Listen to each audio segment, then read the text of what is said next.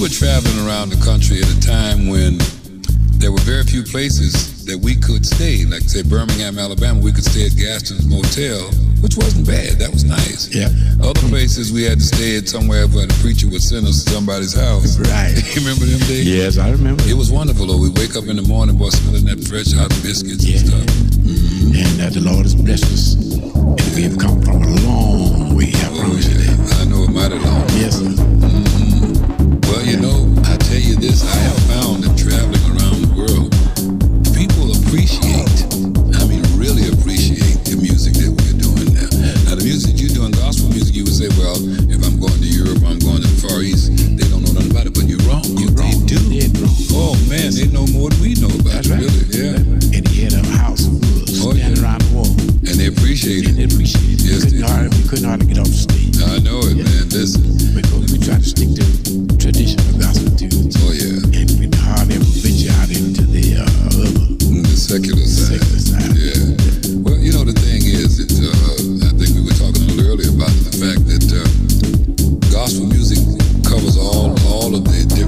areas. It's just different ways of presenting it. That's right. You know? Right.